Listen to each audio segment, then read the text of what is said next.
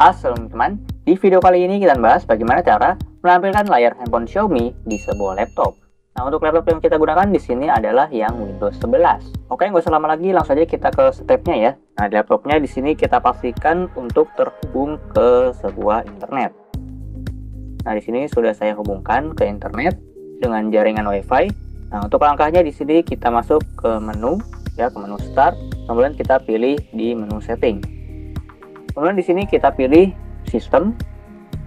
Kemudian kita scroll bawah Nah, di sini kita cari yang namanya projecting to PC. Nah, kemudian di sini kita klik optional fitur.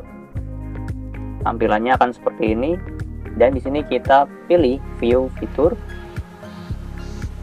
Nah, di tampilan ini kita cari yang namanya wireless display. Kita ketikkan ya. Wireless wireless display. Nah, ini sudah ketemu. Kita centang di sini Nah, ukurannya 1,52 MB. Kita pilih next. Dan kita klik add. Nah, maka di sini untuk prosesnya sedang berjalan ya, sedang diunduh atau di-download. Kita tunggu aja hingga prosesnya selesai.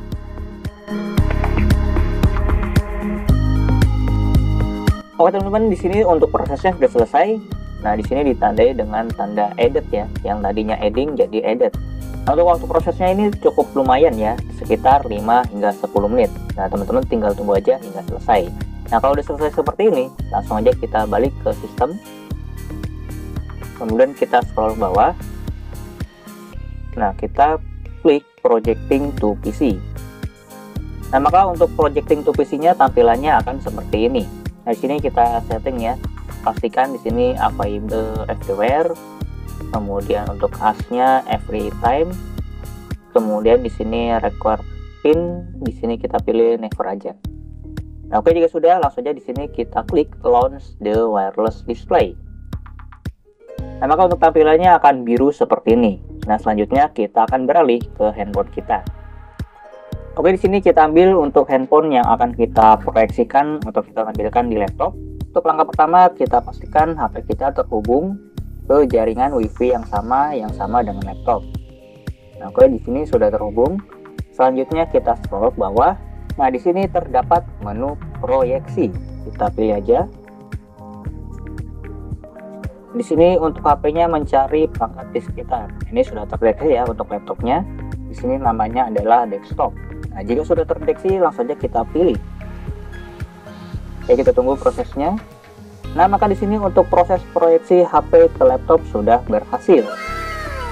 Nah, di sini kita coba ya untuk scroll HP-nya kiri, kanan.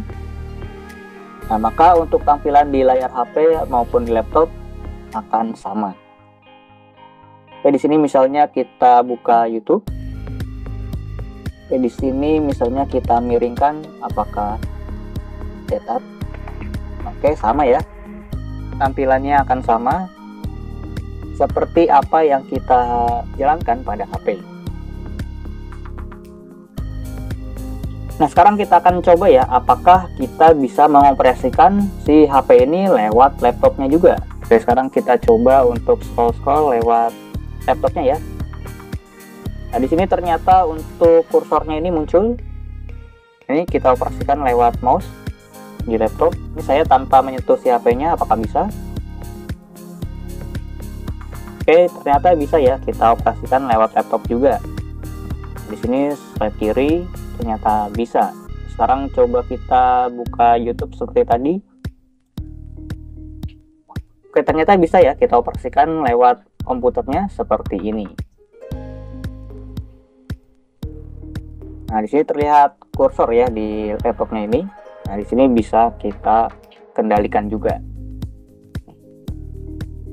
Misalnya kita di sini play 1. Dan ternyata di sini untuk suaranya juga masuk ya ke laptopnya. Jadi untuk suaranya terhubung ke speaker yang ada di laptop. Sehingga di sini untuk suaranya menjadi lebih besar. Selanjutnya bagaimana jika kita sudah selesai untuk layar proyeksinya? Nah, sini caranya gampang aja. Tinggal kita scroll ke bawah, Nah, di sini ada panah kecil ya. Kita klik berhenti proyeksi.